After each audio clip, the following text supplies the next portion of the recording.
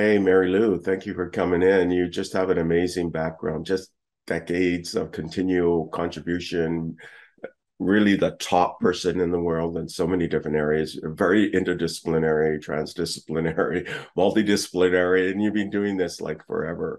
Um, and you continue to contribute in such profound ways. So thank you for coming in and sharing some of your insights with our audience today.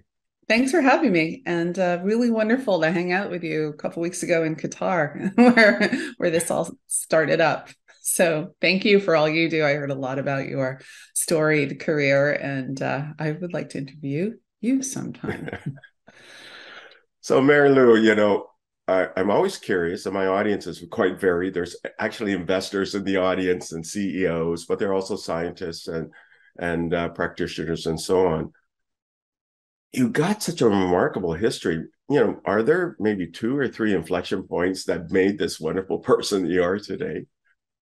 Oh, yeah. So I think it's hard because it may be easier looking backwards. I, I, think my inflection points had to be my health history to drive me very hard um, with the time when I wasn't sick. I was very sick in my uh, teens and then even sicker in my 20s. So there's that. And then the backdrop of it is just the love of.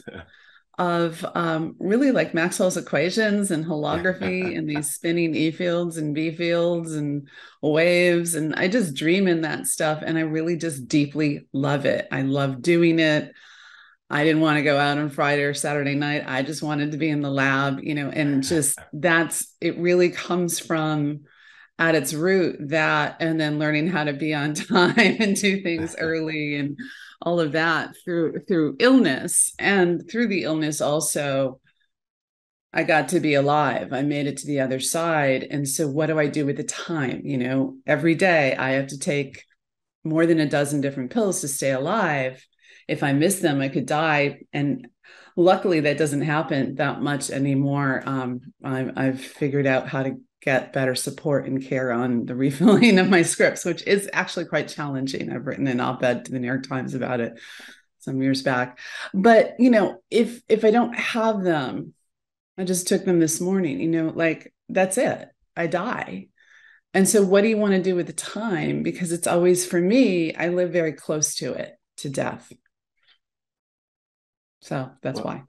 Wow, that's I mean, that is uh such a profound and sort of continuing inflection points that are driving your passion. I mean, and driving your commitment to game changing work. I mean, all of it. I mean, you've got over 250 patents published or issued in your name. I mean, uh, this year, your name went at CNN's top 10 thinkers in science and technology. And you're you know one of the most influential people of all time. I mean that's part of time a magazine. Um, i mean it just the list goes on and on.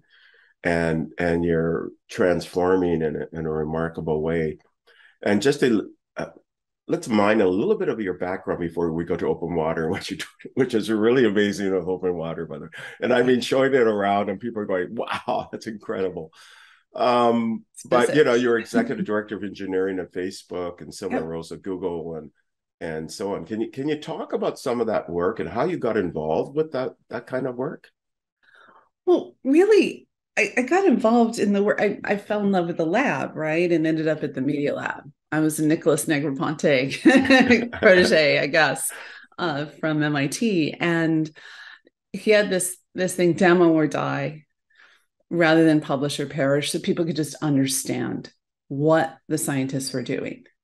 So that influenced me deeply. And the, the work that I did was very visual. So you could see, I made, co created the world's first holographic video system and, and so forth. So the demo and die thing was really profound. And where I think that leads you is to startups because it's the same kind of thing and you're almost always about to die um, until you don't right because you look at I look at the the scientists or the the engineers or the people that I really admire, like like Yann LeCun suffered 30 years in obscurity. Nobody believed him. Then he wins the Turing Prize, right? And cha- he, with two other people, fundamentally changed AI with um, deep learning with back propagation, which was enabled also by computers. But they, you know, all the people I really admire, like, are, that, like, you know, we can pick, you know, in history, like we talked about Maxwell Faraday or like these things. And so I end up doing startups that end up being bought by big companies. And then um, sort of the big companies are really great at scaling them. And then I end up in charge of new business units or starting from nothing, new business units at at for example at google and then at facebook. And as as wonderful as the budget is um, it's very hard to do those in large companies. It's very hard to do starts they're great at scaling. They're great at doing things in their core. Um, but i find the the startup um, process as difficult as it is easier than navigating uh, a new thing in a big company where everybody wants to help everybody wants it on their performance review is doing something they want to meet you know like it's a waste a lot of it is a waste of time before it gets bigger especially in hardware you want to start with a small team because there's this thing about hardware that most of what I do has a component of hardware, and that's that you can't change it once you ship it. And it seems so easy to say and so strange because it's you you set up the team and the cadence of what the team's metrics are really on white hot risks and those are the demos. And those are like anyway so it's just easier to do it in a startup form i think. So I, I go and work in those companies and they're great. And i'm on the board of two large one large public company and one sort of new newly spacked company and you know the, the the challenges are are fascinating for innovation and disruption for large companies. It, it's steve jurvetson um, the um, famous for the guy that wrote the first big checks for Elon and still does a, a billionaire uh, venture capitalist and a and a and a storied engineer um, is lately saying you know big companies can't innovate in their core. They can innovate in an adjacent area, area, but not in their core, not in an exponential way. Sure, they can do incremental improvements, but if you want to do exponential imp- improvements, statistically, it's better to do them from a startup, and it's sort of a continuation of demo or die. It's really easy to understand. Yep, this works. like it's not a paper on it; it works, and that's quite different and powerful. I think. I, guess just to lay a little bit of context of the things that you just mentioned, just to unpack it. So, you know, and the, the, the Nicholas project was really the one laptop per child, which became really, really famous. And oh yeah, I, I just he also co-founded or the the MIT Media Lab and um, right was an honorary co-founder of Wired magazine, but I co-founded One Laptop per Child with him. so yeah. that that was me with him. I was the chief technology officer and the architect of the hundred dollar laptop. But I met him in the '80s when I went to right. graduate school at at the the Media Lab, which he created um, at MIT. When at a time people thought that was nuts to combine media with technology. So but yes, the yeah. one laptop per child problem. We created a hundred dollar laptop that um, uh, the titans of industry thought was impossible. Um, right.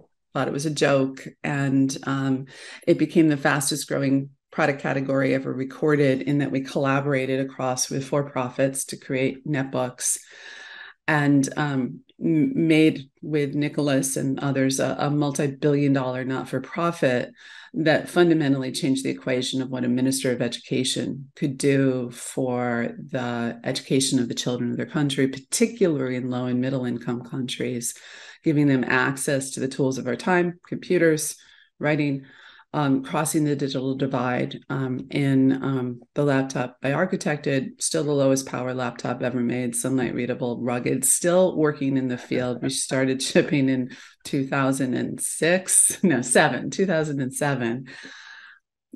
Actually, the first ones went out in 2006 uh, to, um, you know, remote like Nigeria and remote Cambodia and so forth. And they're still working in the field, which is shocking because I designed them for five years of life, which nobody believed.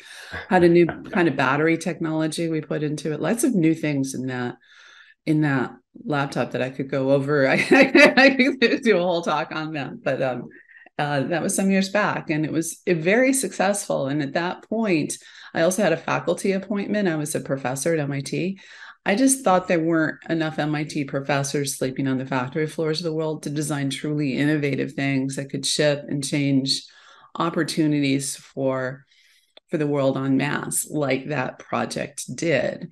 And so i moved to asia uh, just because also you know mit's got some good labs but you get into a multi-billion dollar fab in taiwan or korea or unbelievable what you can do really quickly. You can make it once in about three months. And then here's the real trick like working with a postdoc or something, maybe it takes another six months to make it again but there you can make a million of them in the following year. You just have to turn it into a business so you can ship those but there, you can make really remarkable stuff that can ship skip several generations if you really think fundamentally about the manufacturing processes and what you could make using them in ways that people hadn't really thought of to solve problems they hadn't really thought of.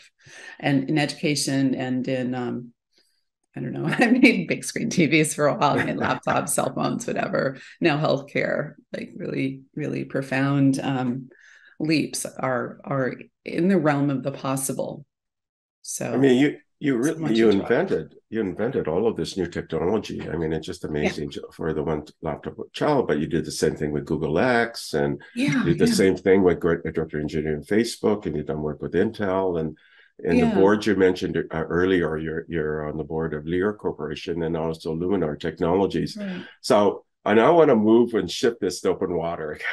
I am just amazed mm. at what you're doing with this breakthrough yeah. medical technology. It's the cra- it's my craziest project by far. Like you know, when people tell you something is impossible, you know they feel a need to. like what would actually be helpful if you told you why it was impossible? Because of course everything I try to do is impossible because no one's done it yet. So fundamentally, I suppose that's true. Um, but I have a lot of reasons I think it's possible. And what's really helpful if somebody can tell you a reason that maybe isn't on your list, because then you can add it to your list and say, "Oh, that's a good one. Let me let me work on that." So yeah, we're trying to transform healthcare, make it affordable for all using consumer electronics but not with an accelerometer in your in your watch. And by the way, I love my my um, smartwatch, but really to um, basically take on um, diagnostics. So MRI in the in the size of a smartphone, thousand times cheaper, gazillion times smaller, but also therapeutics. So being able to remove a cancer selectively and so forth and using basically the physics processes that moore's law is fundamentally enabled as it hits sensor technology and um, emitter technology like lasers and other things that emit sound and light.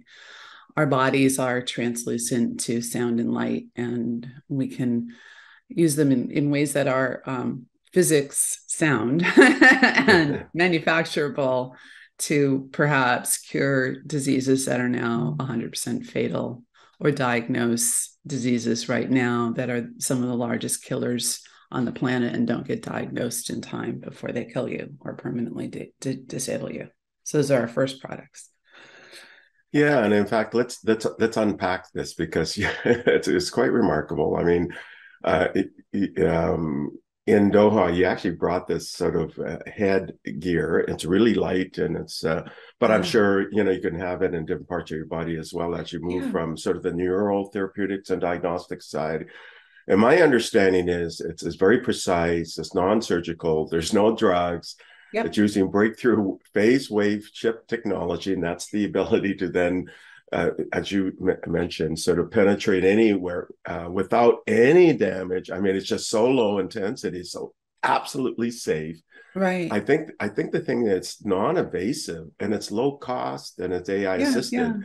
Yeah. yeah. And so it was sort of noodling on that problem for a while. How do you do it? And I think we're well on our way for for that first product is is yeah to had to had to be all of that that was the baseline, right? And so now we're in hospitals um, measuring patients, and in um, in in one of our first ther- uh, diagnostic conditions, we're also starting next month for some therapeutics on severe depression. And then next year we think on on glioblastoma patients.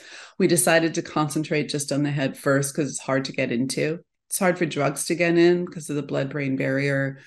Um, it's hard to i've had brain surgery. It's it's hard. I mean also it, this leads to brain computer interface but i i as as incredible a person as elon musk is i don't see a billion people going for the one inch hole in their skull anytime soon. I again have had brain surgery. Hardest thing i did um, it has to be non-invasive to start. And sure maybe implants. Sure if if you know if i've got full-blown um, parkinson's or something and it's the only solution bring it on. But you know for most people to enhance their what you're not going to do it. So so what does this thing do? So the first the first product is um, really it detects um, stroke so why would we want to do that well if you think of like stroke is the number two killer in the world, kills far more people than COVID, although it's not communicable. Well, so you can talk to a stroke patient and you won't get a stroke.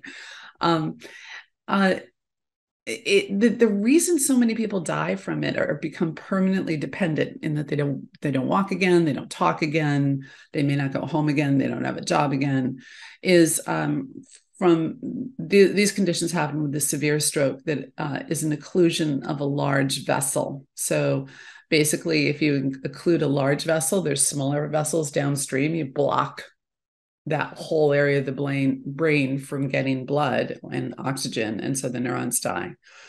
We know how to remove those clots or occlusions or bleeds. We know we have technology to do that. The problem is, it's not apparent what the person has until it's too late until the neurons are already dead.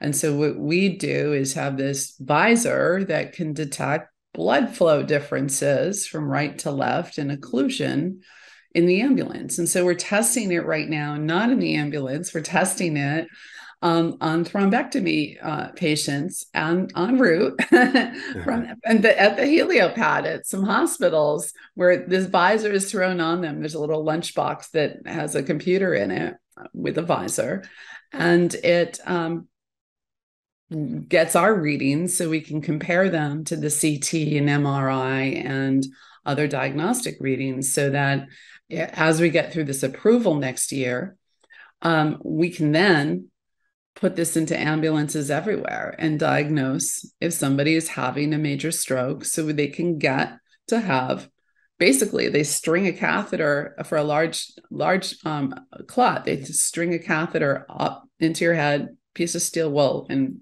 fancy piece of steel wool and pull it out. It's a plumbing problem. It is totally a plumbing problem but it's just hard to diagnose it because we don't have any way to measure blood flow throughout the brain. And so we invented that and uh, and invented it in a way that the subcomponents could be sub $100 at scale using basically the same manufacturing processes that are used um, to make components for your smartphone there's lasers and camera chips that are doing it that's it and a lot of math and a lot of physics and yes a lot of patents and so forth and now collecting the data to prove it works but the early data results look stunning and so we're in tight conversation with the FDA on how to go fast. We're applying for breakthrough clearance to hopefully speed this up.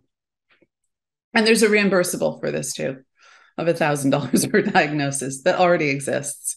The problem is the diagnosis happens too late after the person won't walk again, won't talk again, maybe, you know, won't live again.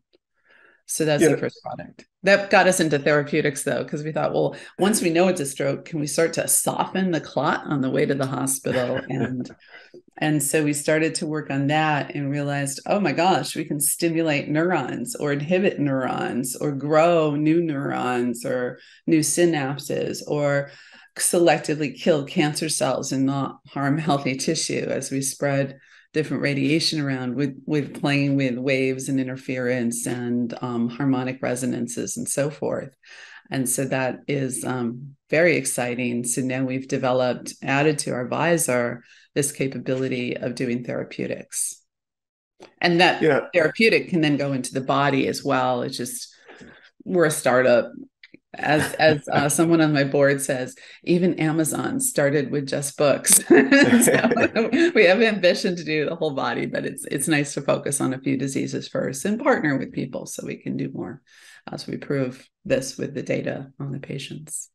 Yeah i mean uh, again I'll, I'll, sort of go into a little bit more detail. You know you, you talk about uh, you know these uh, issues with uh, blood flow and strokes and so on. And, and, I recall in your presentation, Doha, you talked about 55% get are dead or disabled, and you can bring that down to 10% if you can get early enough, right? Uh, which yeah, so if you can get the diagnosis of the severe stroke, um, uh, both the diagnosis and bring them to therapy within two hours of stroke onset, yeah, 90% chance of no neural deficit whatsoever for what now kills or permanently makes dependent the majority of the people with the severe stroke. So this is the this is where the deaths are coming from in stroke. This is 30 to 40% of strokes, the severe stroke, the large vessel occlusion. You can think of it like a tree. There's a trunk goes out to say, you know, three big branches. If that branch, if the the flow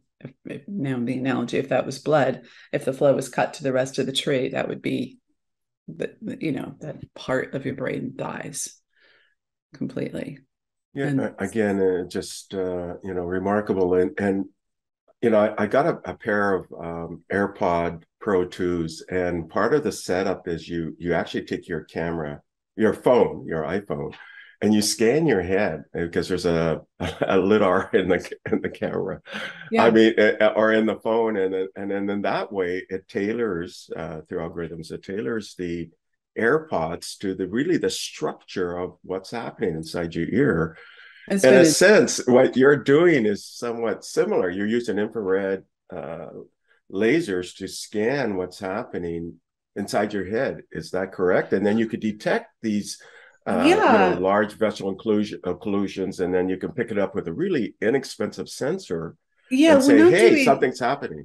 We can do, and for a while, people have been. It's nice. It's nice in a product, but for a while, you can piece together um, 2D images and make something 3D. right. Doing that since the early 80s to make holograms, which are 3D photographs without lasers where you don't have to wear a headset. I did a lot of headset designs and so forth, and it was a really, really early pioneer in VR and AR. But in this case, it's more like holography in that holography fundamentally it won the Nobel Prize. Um, not like a lot of people think holography like Tupac appearing live on stage in Las Vegas, which literally is smoke and mirrors. It's pretty cool. It's something called Pepper's Ghost from the from the late 1800s, and it's cool. But there was this thing that won the Nobel Prize where fundamentally it was not recording just the intensity of light or sound, but the phase. So creating interference. And from that, you record the full wavefront. And, and so if you think of whatever, the light that reflects reflects off of my face,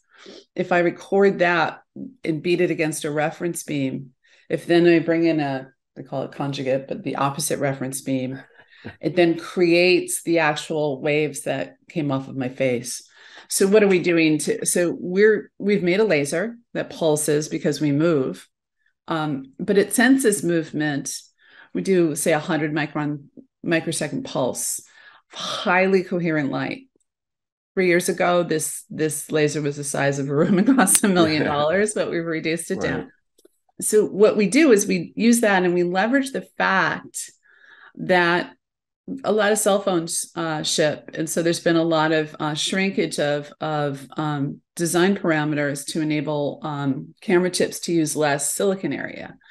And we hit three years ago a milestone that I thought was incredible. It was a discontinuity in Moore's law that no one else I, I can find is using.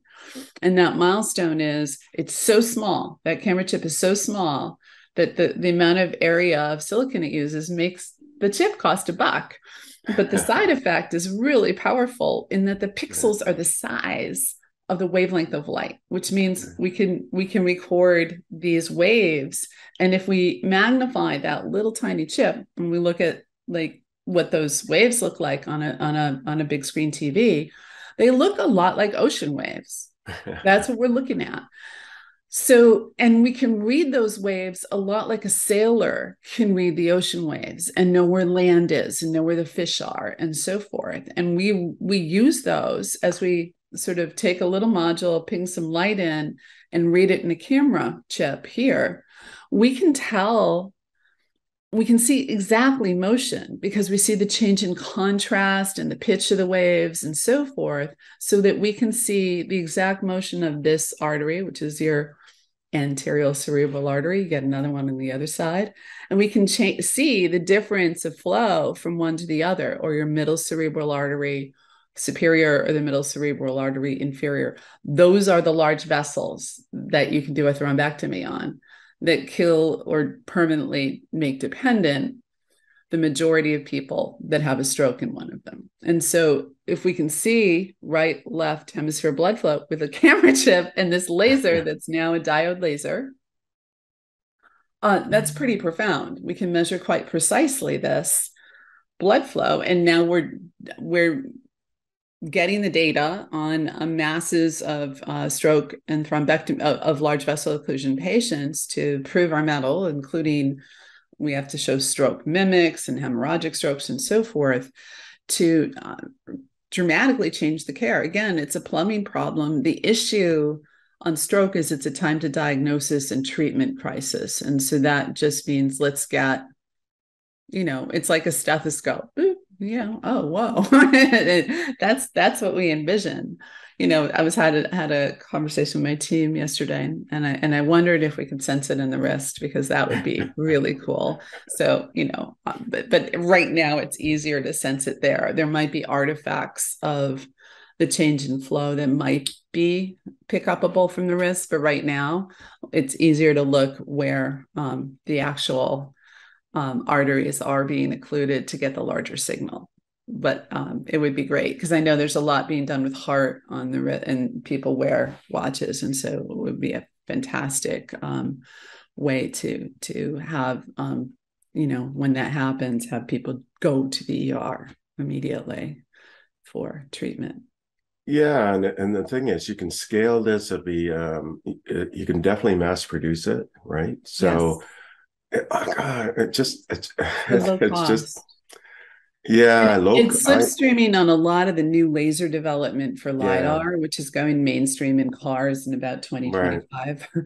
um, I'm on the board of a lidar company. I'm not saying anything secret about them, but uh, right. it's pretty amazing how fast lidar is coming and the price points that are being hit. And so to slipstream on that laser development, where billions have gone into it, Right. We're using it differently. It's a different laser. It's got different right. coherence properties, different pulse properties, but architecturally and from a manufacturing process, it's the same. Right. And so we can use the factory somebody else has built, spent three years and billions of dollars building, and not not right. do that on the back of our investors. So that's really great when you get to um, slipstream behind somebody that spent all the money on making the lab uh, the, the factories that you want that are contract yeah. manufacturers yeah and and again uh, this uh, you know there's over 8 billion people uh, right now right um, some some people are saying 8.2 8.4 billion next year so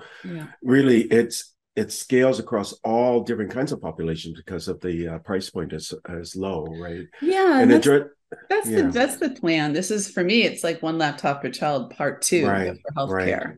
Like right. you go into a hospital, you look at each thing you look at, you know, minimum is ten thousand dollars. Most things are a hundred thousand, a million dollars. Like right. it's the land that consumer electronics has never hit, and why? It's physics. We can do better.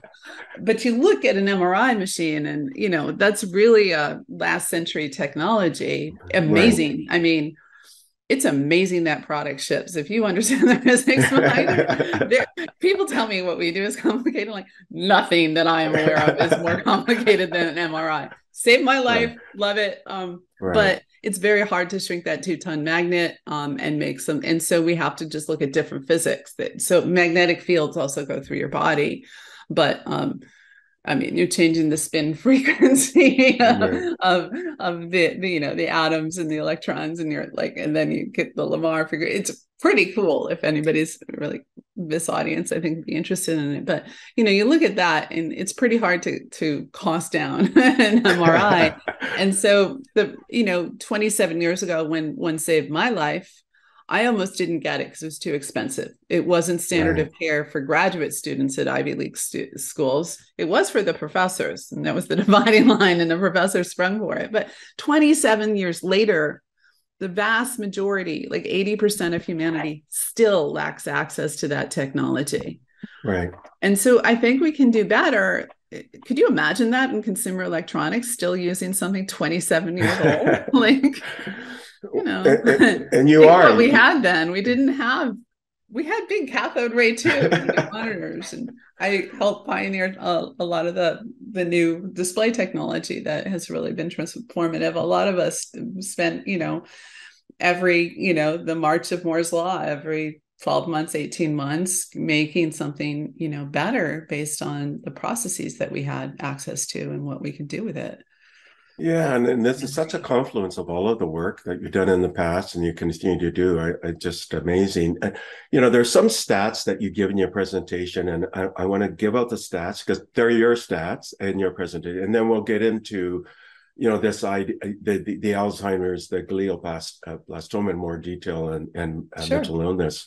But uh, in your presentation in Doha just a little while ago, you talked about there's like a million strokes per year. So we address that and more. Just in the US alone. I mean, yeah. globally, the numbers aren't well accounted for, but it, it's huge and it's growing in, in places with obesity, actually. So yeah. Yeah and, and then you talk about 6 million with alzheimer's 15000 uh, glioblastoma and 20, 20 uh, or 15000 yeah and 25 million with uh, a mental illness of some sort right? A and, severe one yeah. Yeah so, it, the numbers are pretty staggering and again those are just the us numbers which are pretty vetted. The global numbers are far far larger. So so let's again uh, continue this conversation about you know this uh, phase wave is very novel uh, but you're also using sound uh, where you're using mm-hmm. phase uh, phase of waves via interference to get more information to do more pinpointing and because you have this marvelous background in chips and chip design and even this fabulous um, uh, you know screen technology you've done mm-hmm. everything you've applied this to uh, using uh, sound. And so let's get into a little bit more detail of how you're able to use phase dis, uh, delays and beam focusing and steering. And, and I, I, just clearly recall this sort of a series of emitters you have, but that sound and yeah. how it's delayed and then how that can be used in more detail and, yeah, and things sure. like, yeah. So it's a, it's a lot of kind of basic physics, but things that again I've I've worked in my whole life, but yeah, to make things I had to learn how to, you know, solder my own board and you know, design my own batteries and whatever. Like just this stuff that you do, write your own code and all the stuff that you do to make a whole project work to make a prototype because no one believes it'll work so you end up with all these skills because so, so um yeah so how do you um uh, steer a beam. Um, it, it's like antenna theory and opposite. I actually took uh, a graduate level antenna design course, um, which is was totally fun because it's just Maxwell's equations. I, I, could have gone into antenna design. It just wasn't as fun as holography, where you get a visual reward for it. But so in the term, in terms of of modulating sound, we all know about like quadraphonic speakers and different things like that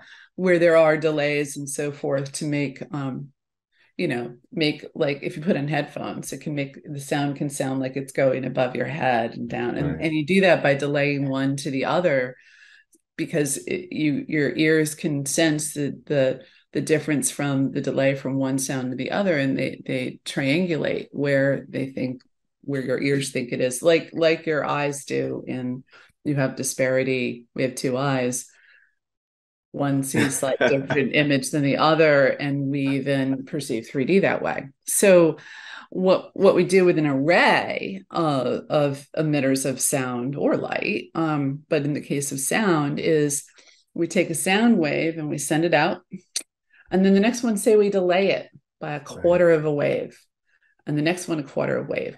The way those will add up is they can form a beam Right. And if you do a bigger delay, say a quarter of a wave or three eighths of a wave, it, it gives you a tighter focus of the beam. And if you do a shorter delay between each, it's it gives you a, a longer focus. You can use a similar principle to make that that the beam form a, a focus up, down, right, left, anywhere we want to inside of the head. And we can hit any part of the brain or the body with this principle with this phased array. Phased arrays have been used a long time. There's certainly been a lot of work with high intensity focused ultrasound to ablate a tumor or even vaporize it. That's called this thing called histotripsy. It's all just using these phased arrays. But what we're doing is using it at very, very low intensity um, at a diagnostic intensity the focus. So it's even way lower than that where it doesn't focus. And and really looking at the frequency the harmonic frequencies so we can get a vibration of a neuron. So a neuron starts to fire or a neuron stops to fire firing which I'm not a shrink, um, but um, I talk to lots of psychiatrists. And here's the thing um, it's called um, repetitive negative thoughts. And I'm an engineer, and I thought, oh, I have that because I always worry about all the reasons some project might go wrong. And like, they're like, no, because you keep finding different ways you're going to fail. Um, but if you always have the same thought of something that's negative, it kind of wears a groove in your in right. your brain, meaning, those neurons in that clump are just firing so intensely or they're not firing. And so what we can do is do a therapeutic treatment to stimulate or destimulate those areas. And they're a critical part of severe depression. And you know you read freud it's all your mother's fault or your parents whatever your relationships you live through a war all of those things are true. Or or but like the root cause if we look at um the objective thing of what's changing in your brain, that's what appears to be the issue. And so we're starting, there are approved therapies for this. There's tons of data um, showing this that it can be improved with something called transcranial magnetic stimulation. There, you really do get into the E field going in a circle. So the B field goes in. The problem is with transcranial magnetic stimulation, it's working, um, but it only has two centimeters of penetration, and you can't control exactly where you focus. Prior to that, they had direct current stimulation transmitting, which is like an anode here, a cathode here, and that is far less controllable. What we can do is steer um, ultrasound that can be stimulating. Again, diagnostic levels of ultrasound, very low level, shown to be safe um, on on most mothers and their fetuses in the developed world for the last 50 years who've had these scans. Um, so we're we're starting studies for that with severe depression.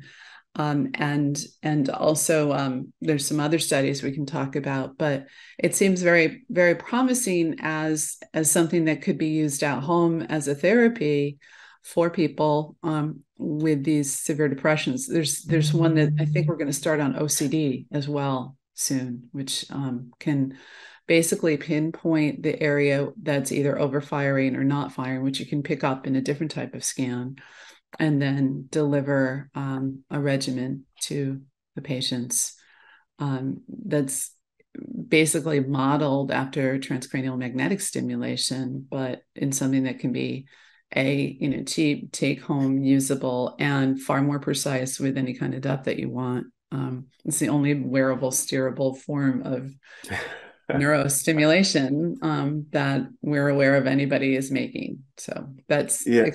for a whole host of people the um, mental health crisis has gone up in pandemic for obvious reasons. People have been isolated. So we're hopeful. Yeah, I mean, it, again, it's it's so unique, and and like you said, it's low cost, it's non-invasive. It be uh, you, you, can scale, mass produce these kinds of things as well, so make it accessible globally. Yeah, and and and a a side uh, sort of opportunity for this, or a related opportunity, is is that you can do uh, stimulation for.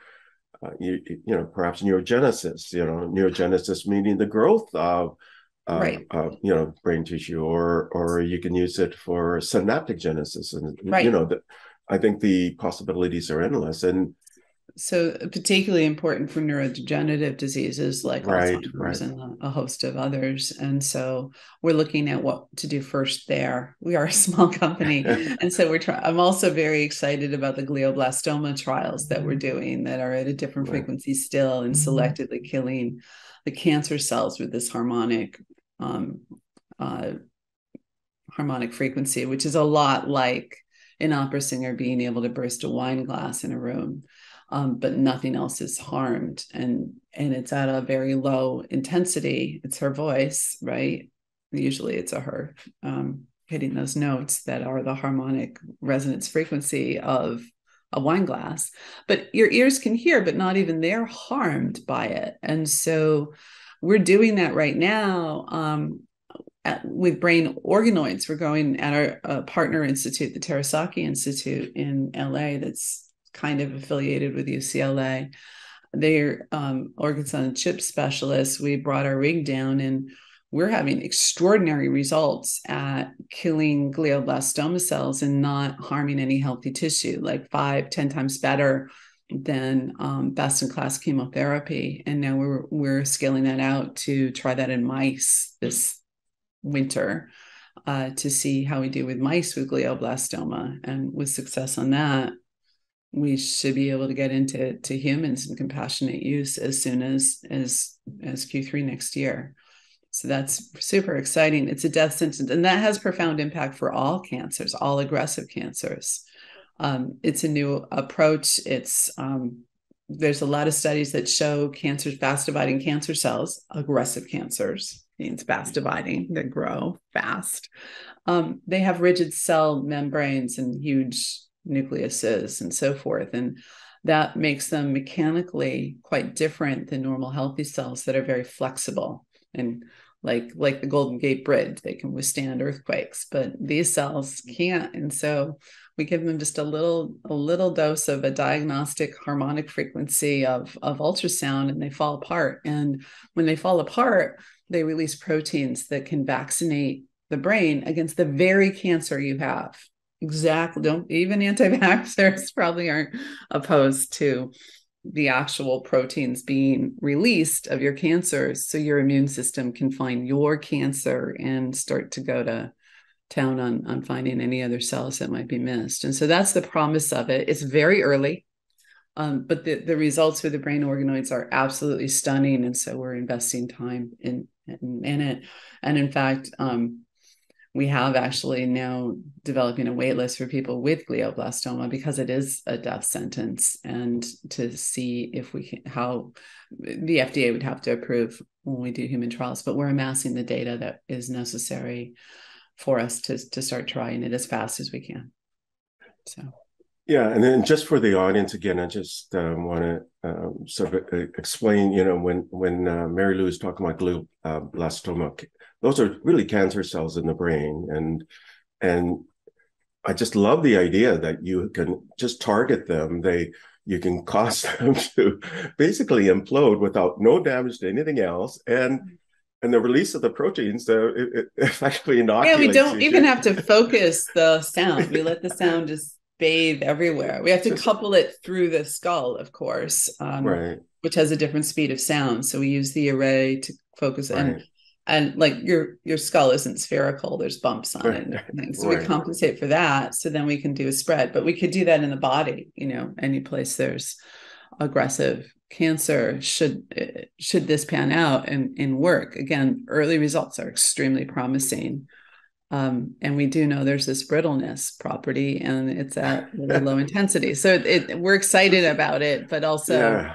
we're just starting in mice now so we're going to the next step yeah, it's so novel and it's just uh, absolutely brilliant. Uh, uh, and just again for the audience, you mentioned organoids. Uh, uh, there's a famous scientist by name of Hans Clevers, and he he's able to go kind of like mini pieces of you, and those are organoids. So you can have an organoid, uh, sort of like a you can take um, a single cell and you can kind of stimulate it, the stem cell, and you can make it appear like a brain and start going different facets of the brain. So this is totally safe. There's no animal studies required and and it's based on an earlier scientist by name of Yamanaka who was able to take oh. adult cells and regress yeah. them into stem cells.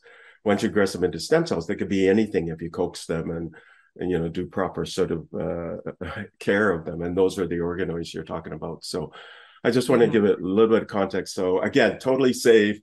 you can scale this uh, when you're yeah. doing the initial studies.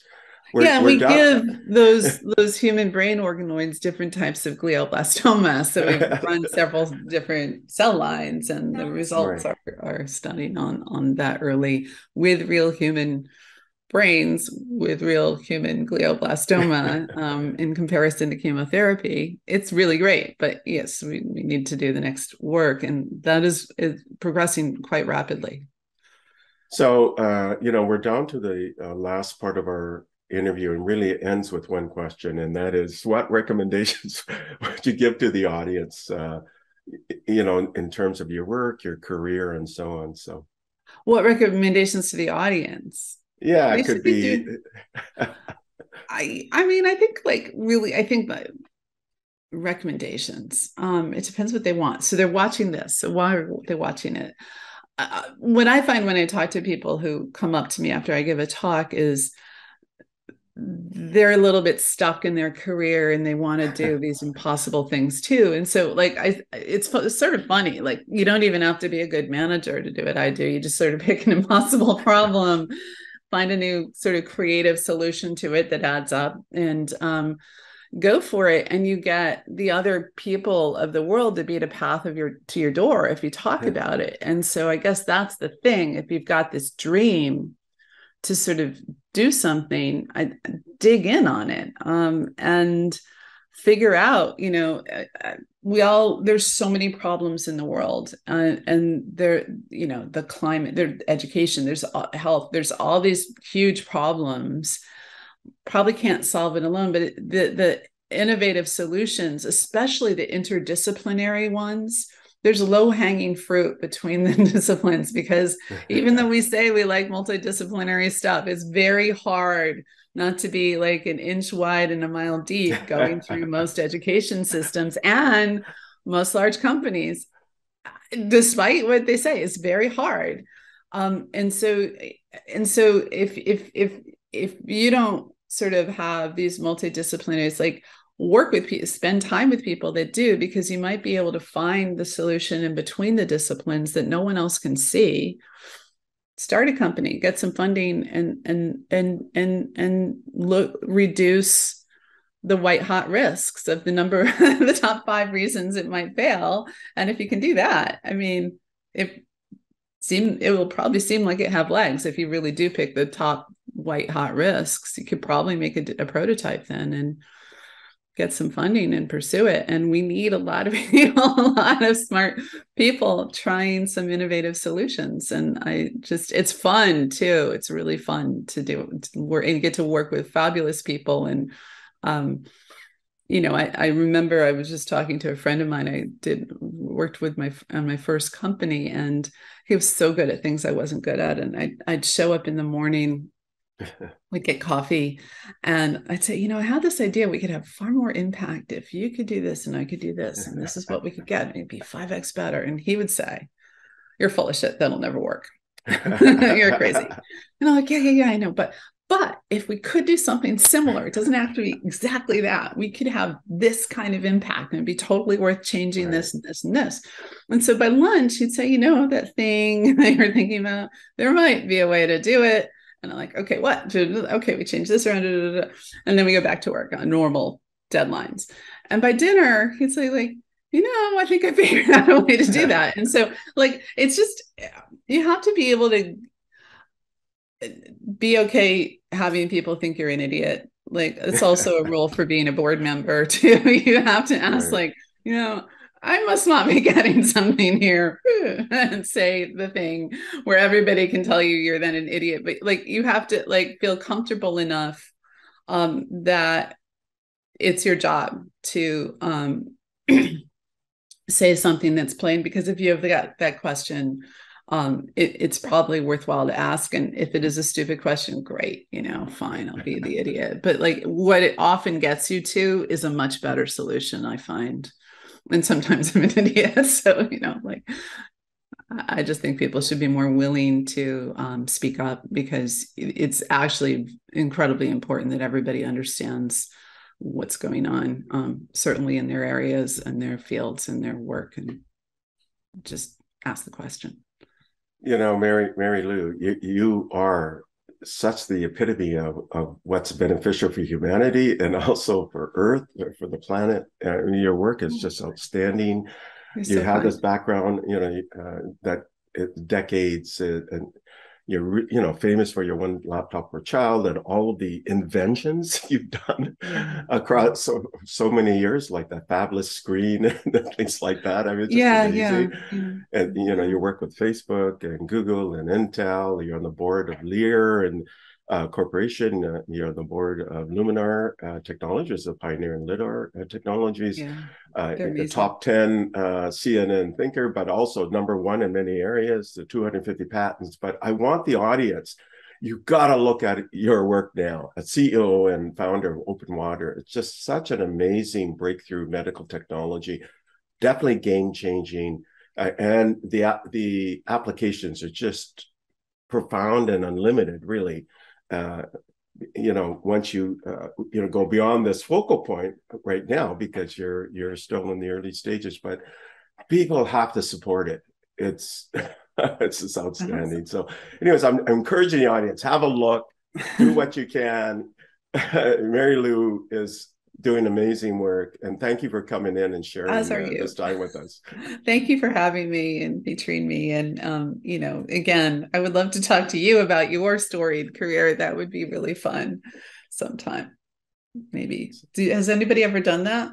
Flip the flip the tables on you? It would be a blast. No I, am here to serve people like yourself who who and, and especially you because of the work you're doing and it's you know so you know i've got a really a diverse audience and uh, that audience can support you for sure. So well, thank you I'm so much. look at mary lou's work please. Okay so yeah. We have some again. videos that maybe we can link to that means you don't have to understand the math that i made for um okay i'll admit it a, a large publication that says fourth grade I'm also I made these animations that explain it so you don't have to do the math and maybe we can link to it on the website. Yeah, that'd be very good. So in the uh, profile, if you can send that to Av, anything that you think we can put in your profile when the interview goes out, and then we'll put that yeah, out. So, sure.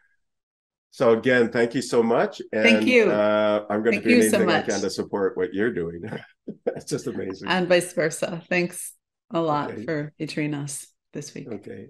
Take care.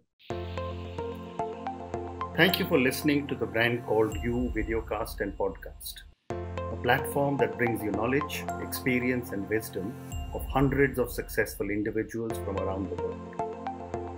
Do visit our website www.tbcy.in to watch and listen to the stories of many more individuals. You can also follow us on YouTube, Facebook, Instagram, and Twitter. Just search for the brand called You.